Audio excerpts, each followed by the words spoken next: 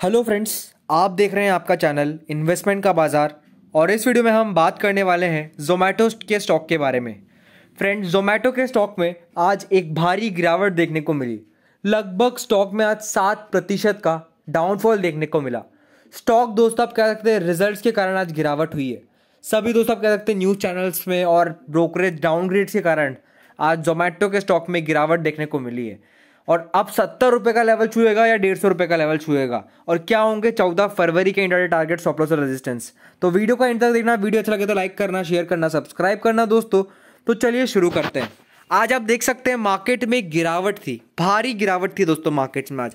क्योंकि US Fed rates जो थी, उसमें आप कह सकते हैं बढ़ोतरी देखने को मिली है। इसके कारण आप कह सकते हैं कि ओवरनाइट एसजीएक्स निफ्टी में एक तगड़ा डाउनफॉल देखने को मिला आपको। इसके कारण सभी इंडेक्स में आज एक गिरावट देखने को मिली है। Sensex Nifty bank Nifty Nifty mid cap index सारे इंडेक्स आप कह सकते हैं आज ब्लड बात कर गए। सबसे ज़्यादा आज आप कह सकते हैं कि कट देखने को मिला है निफ्टी मिड कैप इंडेक्स में और सारे मिड कैप स्टॉक चाहे वो B H E L P N B Zomato और सारे हाई वॉल्यूम स्टॉक जैसे इन्वेंचर ये सारे स्टॉक्स में आप कह सकते हैं कि एक तगड़ी गिरावट आप लोगों को देखने को मिली है। स्टॉक के दोस्तों, अपन टेक्निकल रेटिंग्स पर आ गए। टेक्निकली स्टॉक अब वेरी वेरी जोन में कामकाज करता हुआ देखने को मिल रहा है। यहाँ पर एक परसेंट भी दोस्तों आप कह सकते हैं बाइंग नज़र नहीं आ रही है। तो ये आप कह सकते हैं कि रेड सिग्नल है स्टॉक के लिए। रेजिस्टेंस लेवल की बात करें दोस्तों तो आज एक भी रेजिस्टेंस स्टॉक क्लियर नहीं कर पाया। इवन दो इसने आज दो सपोर्ट लेवल्स ब्रीच कर दिए, तीनों सपोर्ट लेवल ब्रीच कर दिए, माफ़ करिएगा। नाइन्टी रुपीज़ का भी जो अहम लेवल था, उस लेवल को भी दोस्तों आज इसने तोड़ दिया और लगभग एट्टी एट रुपीज़ सिक्सटी पैसे के आसपास स्टॉक में क्लोजिंग देखने को मिली है।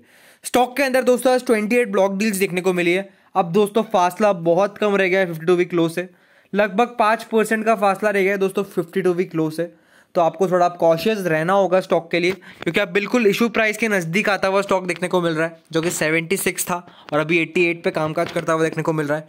तो अभी दोस्तों मेरी सलाह ये होगी कि अभी आपको अपनी पोजीशंस नहीं बनानी है वेट करना है। सौ रुपये का लेवल जैसे कि मैंने आपको पिछले वीडियो में बताया था सौ रुपये का लेवल जब तक दोस्तों स्टॉक में नहीं टूटेगा, तब तक आपको बाइंग करना ही करनी है। सौ रुपये का लेवल टूटते ही एक खड़ी झंडी मिलेगी स्टॉक को एक अच्छी तेज़ी होगी और लगभग 110 120 रुपये का लेवल आपको इमीडिएट बेसिस पर देखने को मिल सकता है। स्टॉक के दोस्तों रिजल्ट्स अनाउंस हुए थे। रिजल्ट्स अपडेट हो गए हैं, आप देख सकते हैं। सेप्टेम्बर क्वार्टर में 897 890 करोड़ का रेवेन्यू था। और इधर रेवेन्यू में बढ़ोतरी देखने को मिल रही है दिसंबर क्वार्टर में। लगभग 940 करोड़ का रेवेन्यू देखने को मिला है। नेट प्रॉफिट की भी अगर बात कर ले तो दोस्तों 400 करोड़ का लॉस था पिछली बार। जी हाँ दोस्तों 414 करोड़ का लॉस था और अभी मात्र निन्यानवे करोड़ का लॉस है। तो आप कह सकते हैं कि लॉस में रिकवरी मतलब आप कह सकते हैं लॉस में गिरावट देखने को मिली और कंपनी अब धीरे धीरे प्रॉफिटेबल होती हुई नज़र आ सकती है।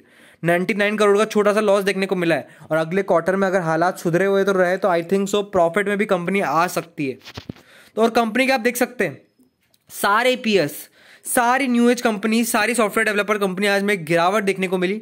सबसे ज़्यादा गिरावट मेगा सॉफ्ट में आज देखने को मिली और दूसरे नंबर पे पेटीएम में। और फिर दोस्तों आप कह सकते हैं जोमेटो के स्टॉक में गिरावट देखने को मिली। पूरा स्टैक दोस्तों आप कह सकते हैं, मैं सारे पीयर्स ले आया हूँ, आप देख सकते हैं, किसी भी पीयर्स में तेज़ी नहीं है।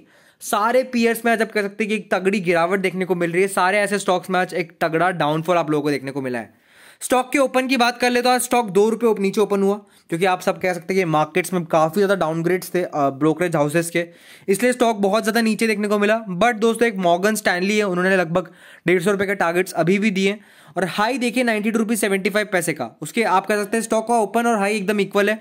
उसके बाद से दोस्तों स्टॉक में गिरावट हुई, और लगभग एटी सिक्स रुपीज़ का लेवल आज इंट्राडे में स्टॉक ने छुआ। एट्टी फोर का आई थिंक लोअर सर्किट था, वो नहीं हिट हुआ बट एटी सिक्स रुपीज़ का भी लेवल स्टॉक ने आज इंट्राडे में छुआ है। स्टॉक के अंदर दोस्तों, आज फोर्टी मिलियन की वॉल्यूम हुई है, चार करोड़ की वॉल्यूम हुई है। लोगों ने दोस्तों आप कह सकते हैं बाइंग भी करी है लोअर लेवल्स पर। ऐसा नहीं है कि अब हर तरफ़ सेलिंग थी। लोगों ने दोस्तों लोअर लेवल्स पर बाइंग करी है और अच्छी खासी आज बाइंग वॉल्यूम स्टॉक में देखने को मिली है। तो चलिए दोस्तों, अब चलते हैं जोमेटो के इंटरनेट चार्ट पर और कल के और लॉन्ग टर्म के internet target stop loss resistance पर चर्चा करते हैं। तो फ्रेंड्स पहले इंट्राडे चार्ट्स पर आने से पहले अपन कुछ न्यूज़ पर अपन चर्चा कर लेते हैं। आप देख सकते हैं मिंट ने डाला है। कि Zomato share plunge five percent ahead Q three post Q two Q three result should you buy और सेल और इधर इन्होंने बाय रेटिंग दी है। और दोस्तों, एक और खबर निकल कर आई है इकोनॉमिक टाइम्स से।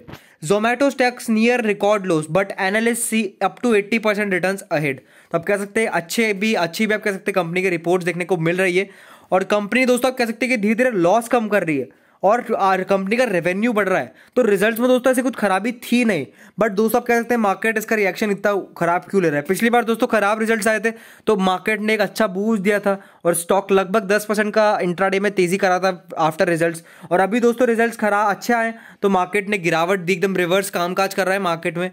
और दोस्तों इंट्राडे चार्ट पर आ गए अपन दोस्तों एटी एट रुपीज़ एट्टी पैसे पर इधर क्लोजिंग बता रहा है, एकदम एग्जैक्ट क्लोजिंग नहीं है, दस पैसे का डिफरेंस है। अब दोस्तों वो क्या करना चाहिए?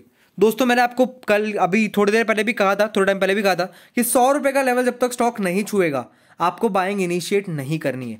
बट फॉर अ चेंज दोस्तों, कल के दिन इसमें हो सकता है, यानी मंडे के दिन हो सकता है कि जोमेटो का stock will be in pull back mode तो आपको क्या करना है? आपको सीएमपी पर खरीदारी करके चलना है और आपको इंट्राडे में नाइन्टी थ्री रुपीज़ तक का टारगेट देखने को मिल सकता है। क्योंकि दोस्तों, पिछली बार जब स्टॉक में गिरावट आई थी इसी बेसिस पर तो दोस्तों स्टॉक में एक तगड़ा बाउंस बैक अगले दिन देखने को मिला था।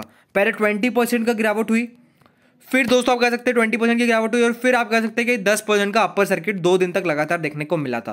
तो दोस्तों आई थिंक सो कल के दिन एक अच्छा पुल बैक मंडे के दिन एक अच्छा पुल बैक आपको जोमेटो के स्टॉक में देखने को मिल सकता है। सीएमपी पर खरीदारी करके चले नाइन्टी थ्री रुपीज़ तक के टारगेट आपको विजिबल हो सकते हैं। अब लॉन्ग टर्म टारगेट्स की बात कर लूँ तो दोस्तों मुझे अभी भी लगता है कि लॉन्ग टर्म व्यू काफ़ी ज़्यादा स्टेबल है इस कंपनी का। काफ़ी ज़्यादा स्टेबल है। अगले तीन क्वार्टर में कंपनी डेफिनेटली प्रॉफिट में आने की कोशिश करेगी। और जैसे ही दोस्तों अब कंपनी प्रॉफिट में आएगी मार्केट इसको रिवॉर्ड देगा और सौ क्या, एक सौ डेढ़ सौ रुपये का भी लेवल जोमेटो का स्टॉक डेफिनेटली छू सकता है एज पर द फाइनेंशियल्स तो दोस्तों दैट्स इट फॉर वीडियो ऐसे ही वीडियो के लिए हमारे चैनल को लाइक करें शेयर करें सब्सक्राइब करें दोस्तों। Thank you friends for watching this video